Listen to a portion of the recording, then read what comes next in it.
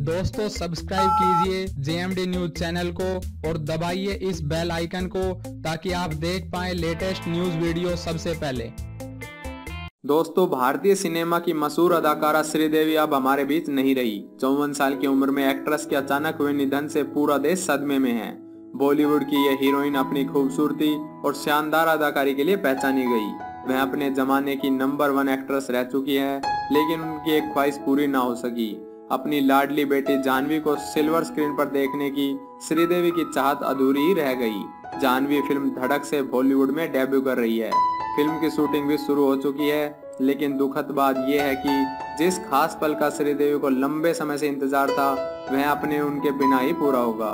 वह अब उनके बिना ही पूरा होगा। जानवी के पहले बॉलीवुड प्रोजेक्ट को फाइनल करने में श्रीदेवी का अहम रोल रहा था।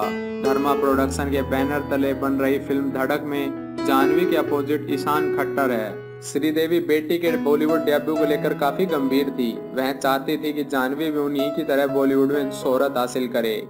श्रीदेवी को अक्सर बेटी के फ़िल्म के सेट पर देखा जाता था। वे बेटी की डेब्यू फ़िल्म की शूटिंग के पहले दिन सेट पर पहुँची थी। श्रीदेवी जानवी की हौसला अफजाई करने पहुँची थी ताकि वह शूट के पहले दिन नर्वस न हो। एक्ट्रेस जानते थे कि किसी भी कलाकार के लिए शूटिंग का पहला दिन बेहद खास होता है। इसलिए वह एक केयरिंग मोम की तरह बेटी के फिल्मी करियर के पहले दिन उनका साथ देने पहुँची थी। शुरुआत में जानवी के पहले फ़िल्म की अनाउंसमेंट में मेकर्स और प्रोडक्शन हाउस की तरफ़ से काफ़ी देरी हो गई थी। वहीं सैफ अली खान की बेटी सारा के डेब्यू फ़िल्म की अनाउंसमेंट हो चुकी थी।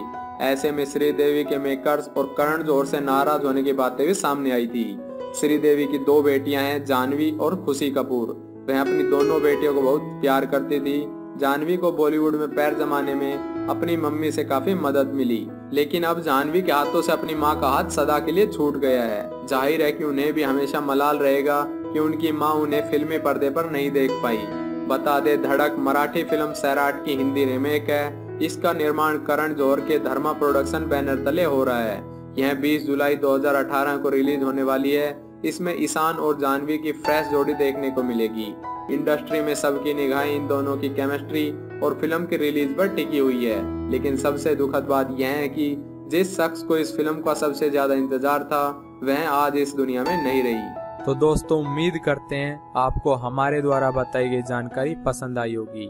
हमारी वीडियो को लाइक करें शेयर करें और कमेंट बॉक्स में कमेंट ज़रूर करें।